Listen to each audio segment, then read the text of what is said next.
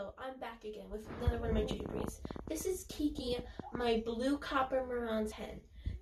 Marans are from France. Sorry, they they're from southwestern France. The APA recognized four varieties currently: Nor Nora Black. I mean Nora or Black in English, Black Copper, Wheaten, and White. However, other colors are Birchen, Black, tailed buff, Columbian, blue copper, cuckoo, golden cuckoo, blue splash, blue cuckoo. Their dual purpose, they're for their eggs and meat. Brood and stand tall. Their eggs color.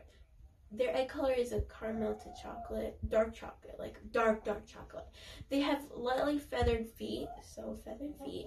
Their temperament is docile and calm, and the hens are, and hens six to one pounds, sorry, full grown. Their egg is large. They lay over 150 per year, and her comb type is a single.